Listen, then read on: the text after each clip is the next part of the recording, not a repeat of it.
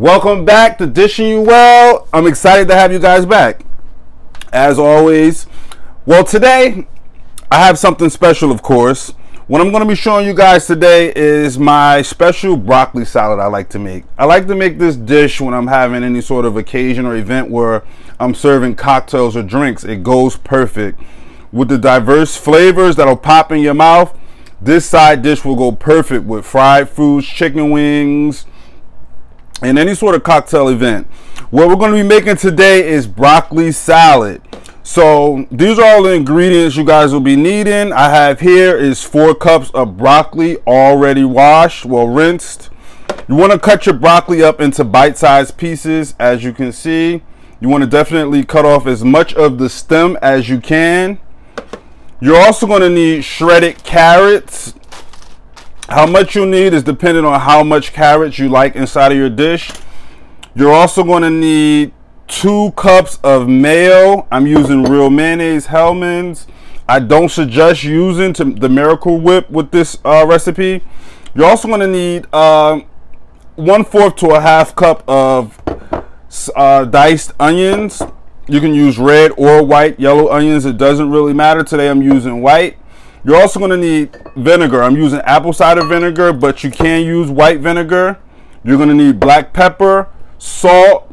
You're going to need one cup of seedless raisins. I'm using the, uh, the dark, the uh, black one, well, the dark ones, purple ones. You're also going to need a half a cup of white sugar, and you're going to need shredded uh, cheddar, sharp cheddar. Actually, I'm using extra sharp today. And that's all the ingredients you'll be needing today. It's super simple, easy to make. What I'm to do next is I'm to show you guys how to get the sauce started. All right, so after setting everything else to the side, these are all the ingredients you'll be needing to make the sauce. The star, the sauce is pretty much the star of the dish. So to make the sauce, as you see, I have my two cups of mayo right here. To that, I have a half a cup of sugar. I'm going to start with, because the key to making sure that this sauce is perfect is tasting it along the way. So I'm going to add most of this, but I'm going to leave a little bit in. Because you want to make sure that it's to your liking. So you'll have to adjust it along the way. We also have our apple cider vin vinegar. I'm going to go in with one fourth cup of apple cider vinegar. And to that, I'm going to add maybe a pinch of salt. Again, you want to start with at least a little bit of black pepper. You want to start with the least amount because anything that needs to be added, you can always adjust it. But if you add too much, you'll make the process a lot more difficult. So now what you want to do is you want to make sure you stir this until you don't feel any of the sugar uh, grains at the bottom of the bowl. The vinegar will help dissolve the sugar, but you want to make sure that it's beaten well and you can't feel any sugar in the bottom of the bowl.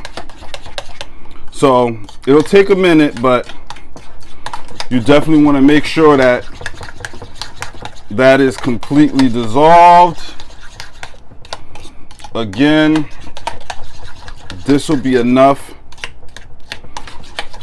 to basically coat your uh, four cups of broccoli so you're going to beat that for a while and then you want to go in and you want to taste it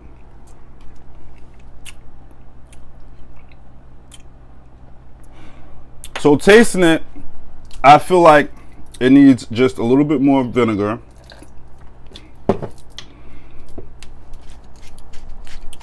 Slightly a little more uh, pepper and just another pinch of salt.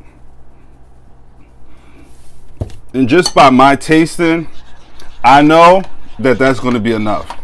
But again, you go ahead and taste it as you go. If I needed any more sugar, I would have added that to it. But if it's to your liking, then you know your sauce is perfect. So that's pretty much it. That's all it is to making a sauce. Now what we'll do is we'll go into putting everything together. All right. So now we're gonna go into getting everything mixed together. So we have our broccoli right here. You wanna start adding the sauce to the broccoli mixture. You don't have to add it all at once. Again, you wanna adjust this dish based on the ingredients you enjoy the most. I have one fourth cup of carrot shreds. You definitely this is definitely important to the dish because it adds texture, crunch, and another level of sweetness to the dish. I'm gonna add the onions. And depending on how much you enjoy onions or carrots, would basically depend on how much you put in. It just really, it's really up to you based on what ingredients you really enjoy the most. I love raisins in this dish because it really adds that that pop in the dish that while you're eating it, you're like, wow, what's that? It's almost like a, a wake up of uh, to your flavor buds. So I enjoy a nice amount of raisins. I have a whole cup of raisins in here. So that's just the way I like it. If you don't, you can add a half a cup or a fourth of a cup. It's really basically up to you. And I'm going to add probably uh, half a cup of uh, shredded cheese. Cheese, the, the cheddar cheese does make a a huge difference in the flavor of this. This dish is amazing. I want y'all to tell me how it worked out for y'all when y'all attempted to make it yourself. It's easy. You can make it at any party. Trust me, the crowd will rave about it. I have a lot of people ask me to make it whenever I'm having a event and there's you know cocktails being served because what it does is it, it awakens your taste buds you know while you're drinking. Just this dish is absolutely amazing. So you're basically going to get this all mixed in. I have the rest of the raisins.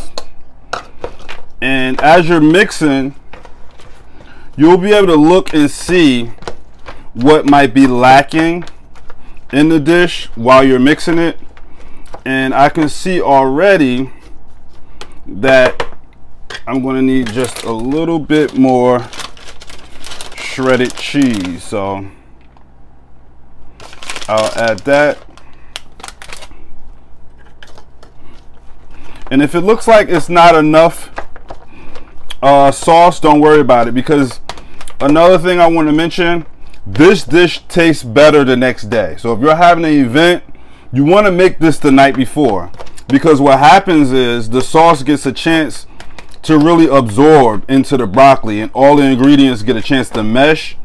So you definitely want to make this either earlier that day but it's a lot better if you make it the night before trust me. And that's pretty much it. So make sure everything's mixed well. It's very saucy And that's pretty much all it is to this dish. What I'll do now is I'll show you how to pair it up and we'll be right back with that. And there you have it. Delicious, flavorful broccoli salad. As I said, it goes perfect with fried chicken wings, any fried food, and your favorite cocktail of choice. Again, I want to thank y'all for spending this time with me. And I want y'all to drop down in the comments. Let me know some suggestions y'all have for me. What y'all like to see me make next. I like to engage with you guys. Until next time, I'm dishing you well.